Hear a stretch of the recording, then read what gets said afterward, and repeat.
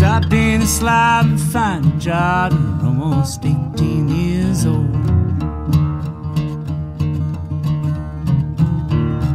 And you don't have a clue about what you want to do. And I'm gonna do what I wanna do. It's my youth.